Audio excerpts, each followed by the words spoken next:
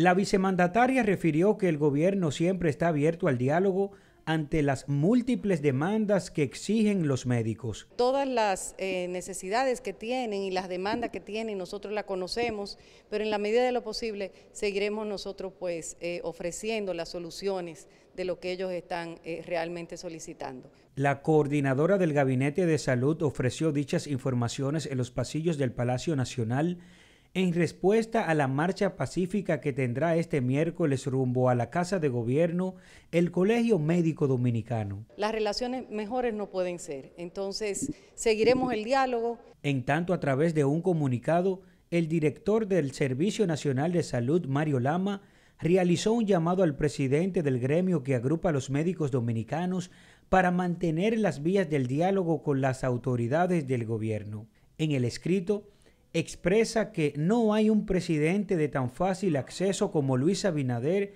que se ha reunido en varias oportunidades con el gremio. Además, destacó que con las llamadas protestas, los más perjudicados serán los pacientes quienes acuden a los centros con sus problemas de salud en busca de recibir atención médica.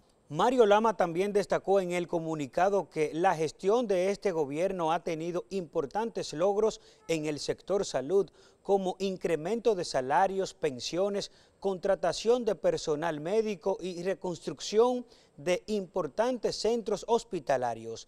Desde el Palacio Presidencial, para Telenoticias, Gregory González.